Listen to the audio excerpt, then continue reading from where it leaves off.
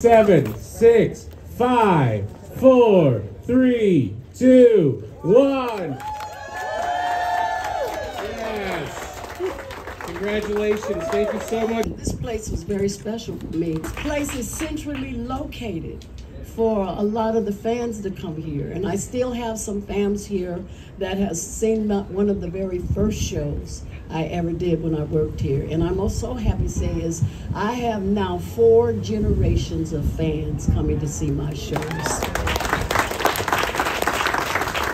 Anyway, thank you all so very, very much, and I am so proud to be a part of this family. In 60 years I've been in this business.